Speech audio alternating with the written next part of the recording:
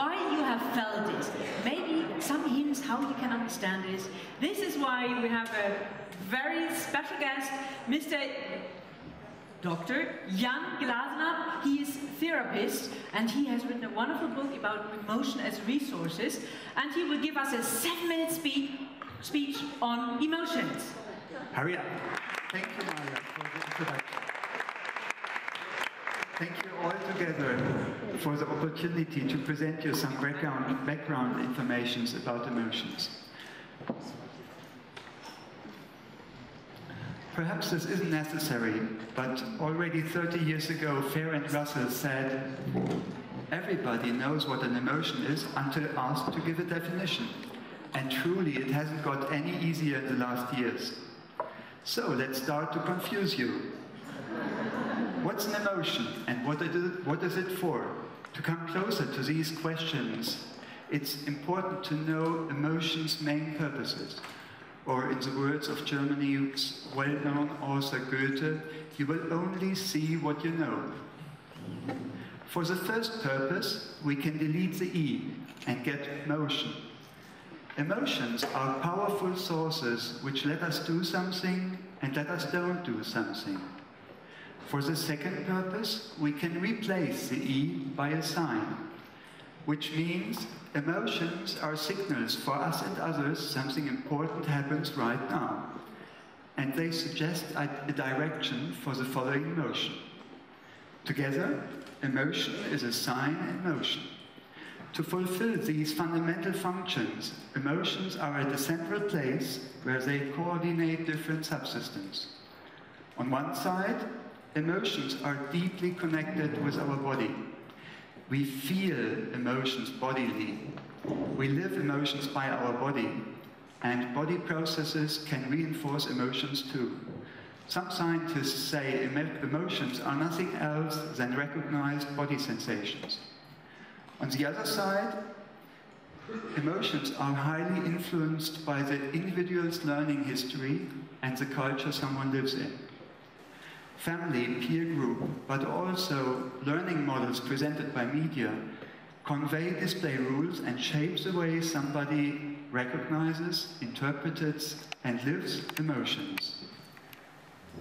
And emotions are also in between somebody's needs, like attachment and control, and the way of change the situation by action to serve these needs. So, together, emotions, are important and make sense. But really, do they? So many people suffer by emotions, their own ones as well as by others. And of course, not in every situation, every emotion, in every intensity, doesn't matter if too much or too less, will be helpful.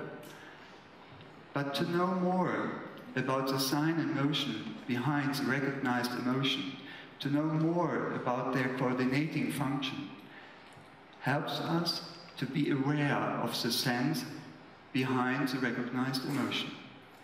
And this helps us to be more complete, this helps us to get more emotionally intelligent or better emotional competent. to illustrate the sense of emotions, it could be helpful to show how they assist us in dealing with our personal borders. Emotions regulate these personal borders. In this context, joy and sadness will regulate situations we get or lose something which is important or of a high value for us. In case of joy, we open our borders, let it in, getting bigger. In case of sadness, after realizing a loss, our borders are hurt and we have to recover. In this context, fear and anxiety and anger will regulate situations we are threatened. In case of fear, we try to avoid, try to get distance to the person, the thing or thought which just frightens us getting smaller, perhaps freezing in. And in case of anger, what do we do then? No, not automatically punch and fight, We fence off the, the threat, saying stop. And this is really an important ability for the development of somebody's self. Anyway, it helps me to better understand the eruptive anger moments of my adolescent daughter, but that's another story. One more thing. Culture and individual learning history shapes the way somebody lives his own emotions. This can be named emotional style. And for me, as a psychotherapist, it is very important, or one of my most important goals, to talk with my patients about their emotional styles and under which circumstances it developed. Some perhaps grow up in a world of feel good. Sometimes this means you have to feel good. And this can mean don't feel bad. And for some people, the solution is don't feel at all. Others grow up learning to avoid or better suppress some specific emotions, perhaps when they were challenged or alone, dealing with this emotion in their childhood. By not feeling an emotion, it's getting more difficult for us to recognize the emotion, and by not recognizing the emotion, it's getting more difficult for us to deal with it. So, what is your emotional style? Which emotion do you easily share with others? Which emotion do you easily share with others, but you don't like the way you do it? And which emotion do you perhaps hide, don't like, or even don't feel? It is very difficult to define a healthy emotional style. But truly, it has to do with awareness of every emotion, your own ones as well of others. And it has to do with emotional flexibility as a competence of regulating emotions.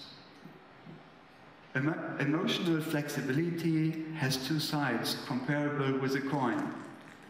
And it means, on the one side, to live and feel an emotion more when it is helpful, and on the other side, feel and live an emotion less when it is necessary. I would like to end with Portugal's famous author, author Pessoa, who reminded us basically the best way traveling is by feeling. So I wish you tonight and for any further emotional journeys, a good trip, and thank you very much. Okay, so um, these guy, and actually there would have been two of them, he is telling us every emotion is good, and we should live every emotion, we should feel every emotion. Let's be a little bit more critical. Is that really true? I mean, if we think about children, if we think about adolescents, if we think about ourselves, is really every emotion good?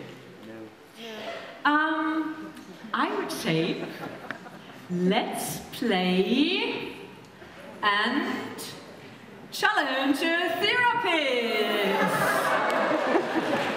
In your team, find an emotion that is not good, that nobody should feel and tell a little bit about the circumstances around it, and then we will challenge Jan, and he will try to find an answer.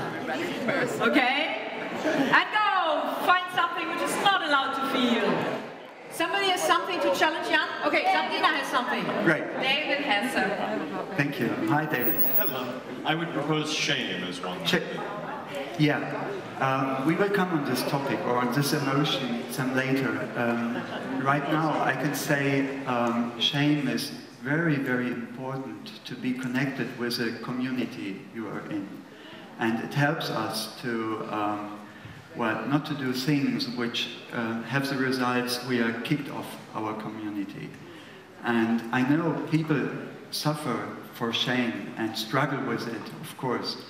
But it's important to see what's the basic of this emotion. But are you referring to the resolution of shame is important for being part of a community or the feeling of shame itself? Uh, I think it has a, a, kind of protective function.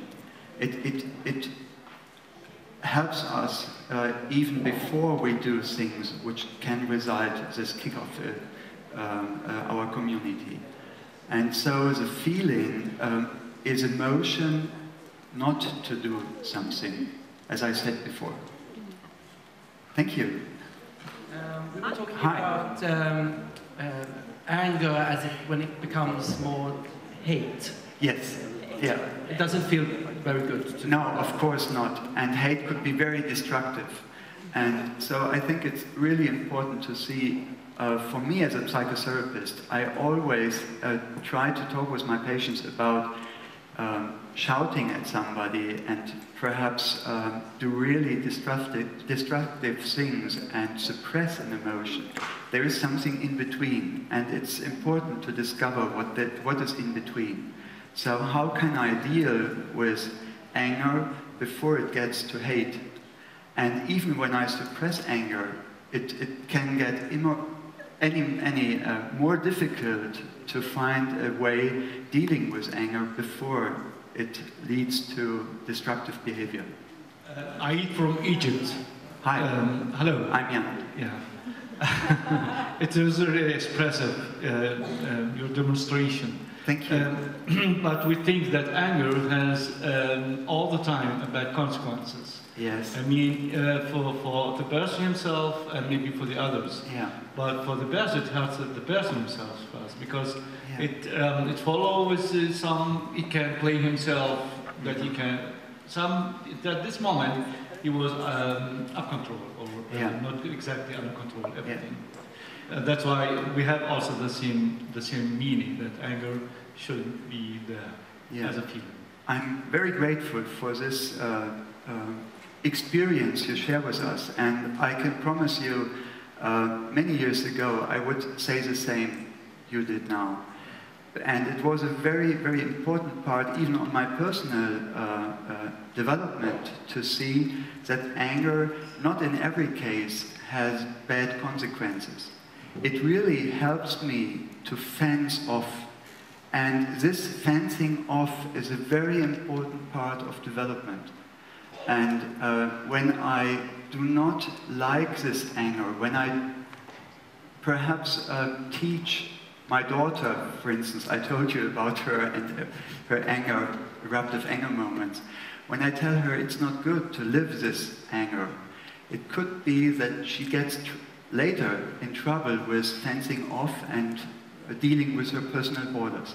So that's my opinion today to um, let anger be, but find a way to deal with it on a helpful way. Yes, I'm from Kosovo. My name is Vetan. I would like to ask you if it is needed to express all emotions, and if we feel too much, maybe we will get depressed. this is the problem nowadays. Uh, that's a very, very good thought. And it's important to keep this thought in mind. But to deal with emotions, it's more important just to feel. And uh, it's very, very difficult to uh, put thoughts over the, the feeling. And uh, I know many people have problems with too much emotion. And they, they, um, they lost in a jumble of emotions. So it's important to come back to what are the main, or some scientists say primary emotions. As I showed here, look what are the, the, um, the personal, what are the, the pictures which help me to show, yes, this is anger, this is anxiety or fear. And then I only have to talk about four emotions. For example, perhaps it's some more as we can see on the flower. But it's not so difficult when I know what is the primary emotion, what is the important emotion behind this emotional jungle I see, I, I feel sometimes. The answer is not to suppress every emotion. Um, what about envy among siblings? When the, uh, the new child is born and the other Yeah. one feels set back, Yeah. we, we sort of try to control the envy of him. Yeah. And whereas, for example, a child feels joy, we say it's okay, more of that. Yeah. So that's why, how we regulate it. Uh, I, I- I wouldn't say more of that. I, I would prefer even. We're television entertainers. so- Oh, okay. I, w- I would, I would try to see what is behind this envy. And there I'm back to talking about these four emotions. And what would you say is, well, we have joy, sadness, fear, and anger. What is behind envy? What would you say? I mean, clearly, if a, a, second child is born, Yeah. the one, the first child feels set back and being deprived of love and, and uh, Yeah. affection. And perhaps it's anxious about what happens now. Will I have the attention or the attachment to my parents anymore? And when I, I see what is behind, when, I, when I'm aware of what's behind the emotion, it's getting more easy for me to deal with it, you know? So I would try to look what's behind envy. It can't be challenged, really. One more? Something really Okay. interesting. I want to challenge you with joy.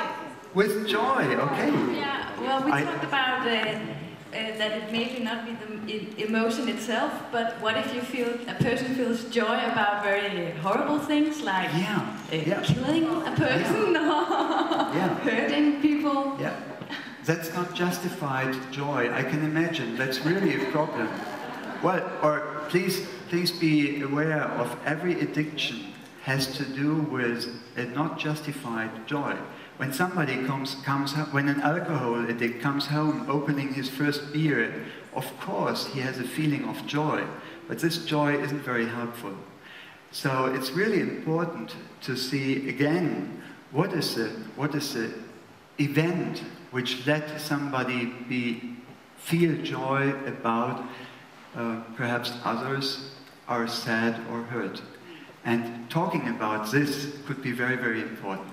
So, it, wait, so the concept of Schadenfreude would be Yes. unjustified joy. Yeah, I would say that. Or even the joy uh, when you, uh, you feel when, you, uh, when your soccer team uh, gets a goal, but you are on the wrong side of the stadium, could be not very helpful. And justify and being helpful is very, very important when, when dealing with emotions. Thank you so much. Thank you.